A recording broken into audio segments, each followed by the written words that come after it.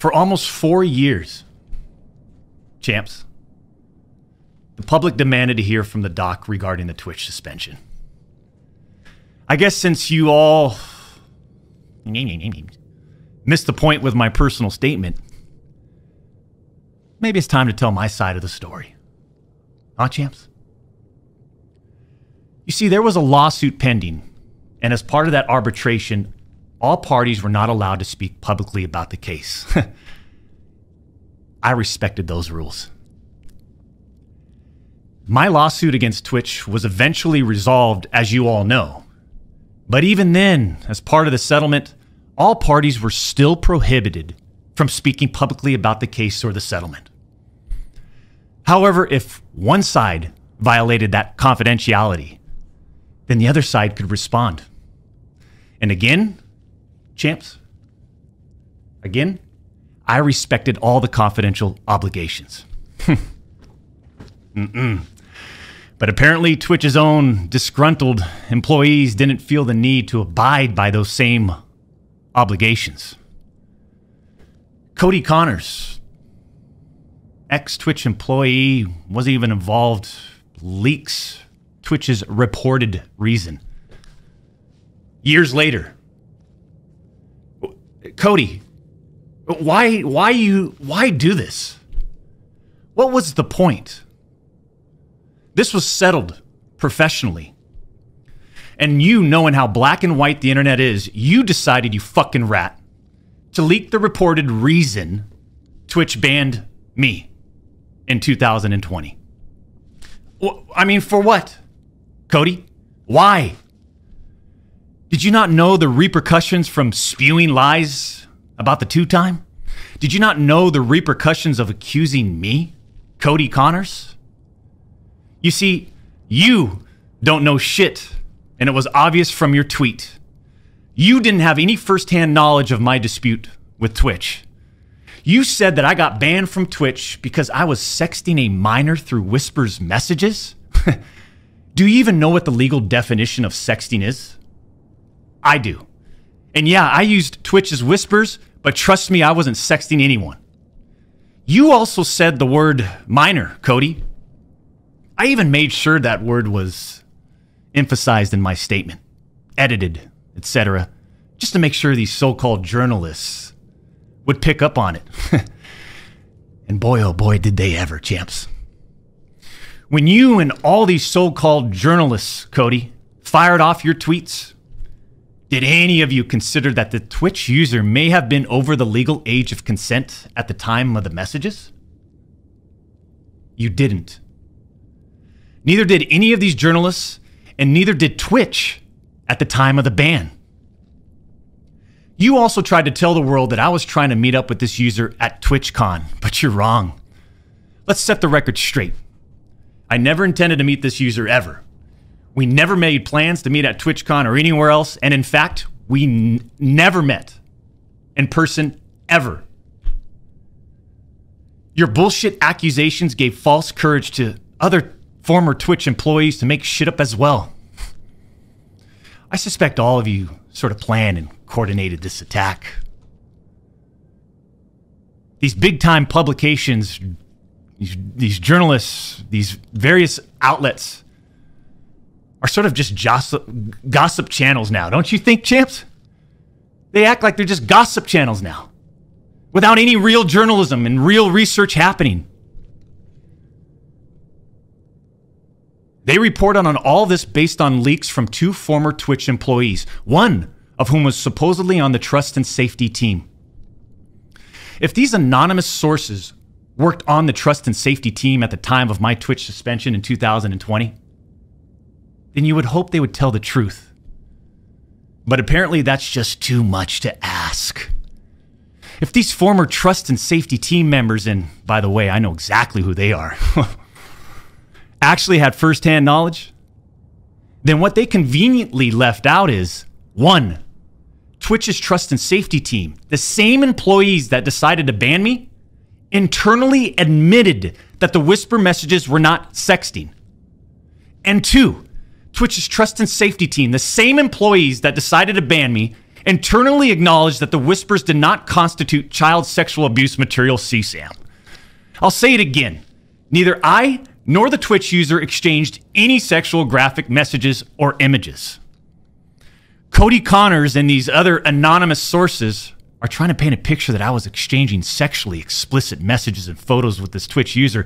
That never happened. I even used the word inappropriate purposely. And look at how it was defined by everyone, champs. Huh? Including these defaming articles. I'm sorry, but mutual bantering with inappropriate jokes taken out of context should have never led to me getting banned from Twitch in the first place. I mean, how would each of you look if all of your private DMs, your text messages, your chats were looked at, dissected, and taken out of context by someone who's deliberately trying to find something inappropriate in those words? And this is not a situation where a victim publicly accuses someone of wrongdoing. That never happened here. We're talking about allegations that Twitch made against me as a half baked reason for justifying their actions of suspending and shutting down my channel. Allegations that Twitch made without even a legal analysis of whether the whisper messages were legal. You see, I engage with my community, I engage with other streamers. And through Twitch Whispers, I communicate with Twitch users conversations that consisted of a variety of playing games and gaming politics, content creation, random stuff. This was the extent of my whispers with this Twitch user. On June 21st, 2020, my ex Twitch partner manager learns that I exchanged whispers with a Twitch user. and I say ex partner manager because for years, this guy didn't do anything for me, my community, or my channel for years. I'm talking no front page love. You're talking about the face of the platform, right? Literally, the face of the platform. We and I know Champions Club remembers this. We got we got zero front page love on the website. Uh was never on my channel. He didn't follow me on Twitter. He, he wouldn't even inform us about Twitch rival tournaments. We're talking about the two time. Twitch rival tournament. Oh, I'm sorry. I, God, I would you would you want to play in it? we got zero support from this guy, and it was just so obvious that he carried a grudge against the two time. So after we signed with Twitch in 2019, we asked for a new partner manager, and just a few months later, that ex Twitch partner manager is directly involved with getting me banned. Coincidence?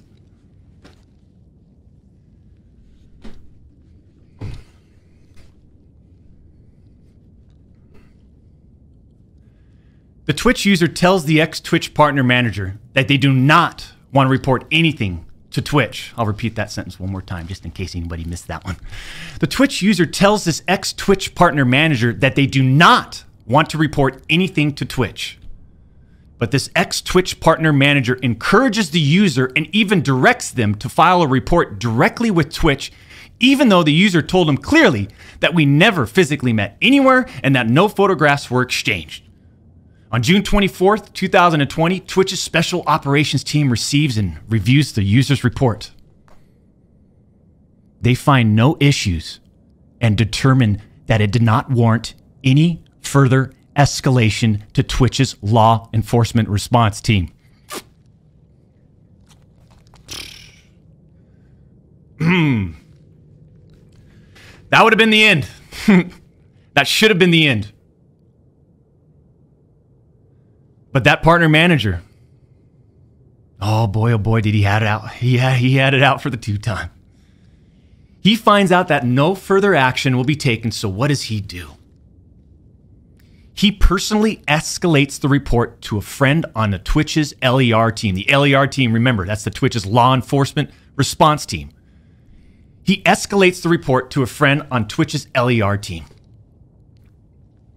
So a day later, on June 25th, the LER analyst pulls the entirety of the whisper messages and begins discussing them with his director of the LER team. Mind you, this director is on vacation at that time and does not have access to their computer or work files. L- let me just remind you, I went through a multi-year, multi a, a, a big time arbitration. Okay, and uh, you know, you discover a lot of stuff. Mind you, this director is on vacation at that time.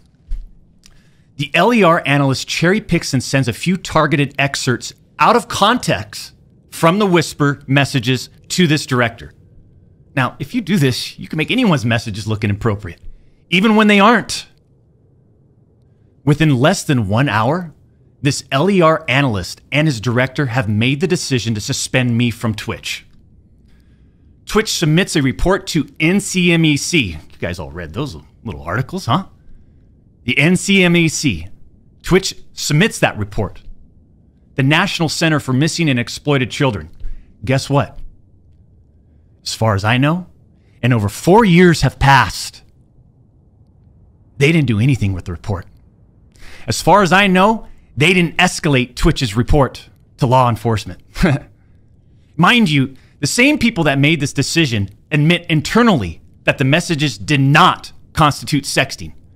The same people that made this decision at Twitch admit internally that the messages did not warrant any child sexual abuse material charge.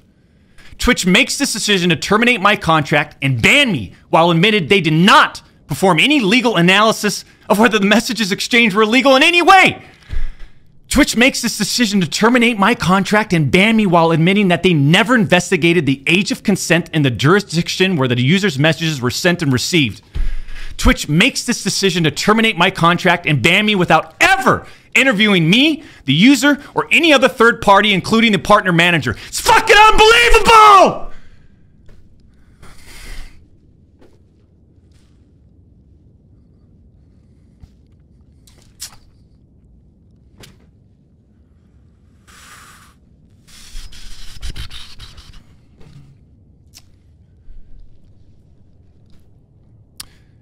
I'm not going to get into every detail regarding my legal case. but these former Twitch employees that claim to have firsthand knowledge, they just don't have a clue. They didn't report any facts. The judge in the case determined that the whispers were not illegal. so then, why did Twitch use these messages against me? I, I why did Twi- Twitch treat the doc so differently from there are other streamers. I mean, outside of the obvious. I mean, just take a look at me. Unfiltered.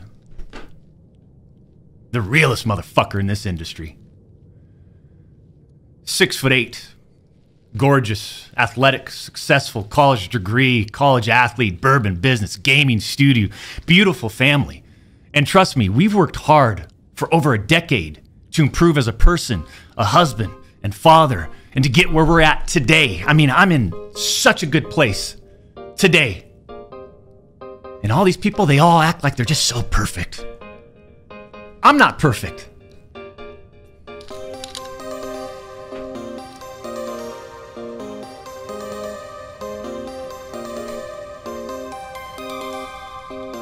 I don't claim to be perfect. Eh, sometimes I do. But I also didn't do all the shit that they're saying I did. But then that doesn't make a story, right? They wanted media attention. The media wants controversy. And by sensationalizing all this with big, inaccurate headlines like sexting and sexually explicit, you all got what you wanted at the expense of the two time. The reality is, they wanted to cut down the doc. Plain and simple.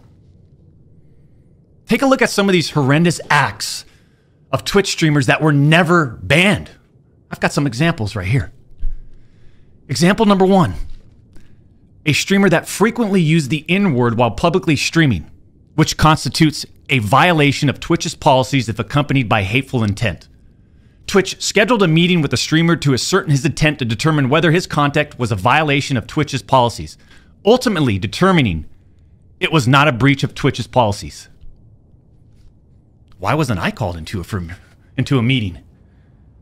Why wasn't my intent taken into consideration, champs? Hmm. Example number two Streamer was reported for discussing doing things with deceased animals and discussing pedophilia, all while live streaming. Never suspended, but instead given a multi million dollar contract. Example number three Streamer was reported for a sexually explicit stream involving children and telling children to send Snapchats of them playing with themselves. Never suspended, but instead, hmm, given a multi million dollar contract. It's so obvious that certain Twitch executives, employees involved had personal biases against the doc and used all of this as an opportunity to terminate my contract. Go back and look at the timing of all this, too. Huh. The doc's termination lines up with two preferable, profitable, and expensive streamers leaving Mixer. As soon as Twitch knew that Mixer had failed, and go look at the timing. These other expensive streamers needed a new streaming platform. So Twitch rushed through its decision to terminate the two time. You see, I shouldn't even be banned from Twitch.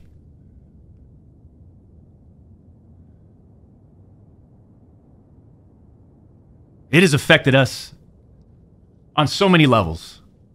Back in 2020 and now in 2024.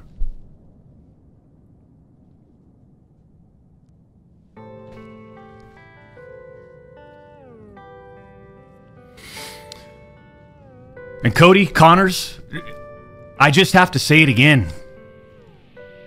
Why would you do this? Like I said, this was handled professionally years ago. No fucking wrongdoing. But because of you, Cody, we just lost.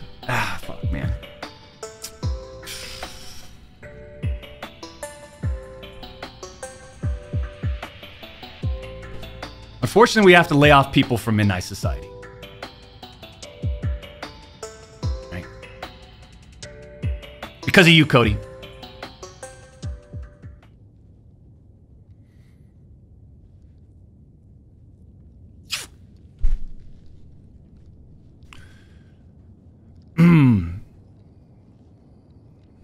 You know, through all this, we are where we are. And like a fucking man, I'll accept it. But I don't accept to sitting quietly by and let these idiots attack me with false accusations. No. For all these doc haters out there, too, oh man, the ones that project and project and project and project and worry about everyone else's problems, right? I, I can't understand that mindset. I don't give, I could care less. We've always stayed in our lane. But somehow, some way, these people, they just get in our lane. For all you doc haters, I'm sure you'll dissect all of this and still find a way to publicly criticize me. Do what you need to do. I'll say this this isn't for you. This was for my team today, my community, my friends, La Familia that have supported me. And I'm not denying the exchange of whispers, champs. I'm not denying that to, to all of you out there. It looks bad. I have no way of knowing if the Twitch user thought our exchange of whispers was inappropriate. If it was, I apologize. All I, all I know is that I never did what Twitch, Cody Connors, or the public is claiming that I did.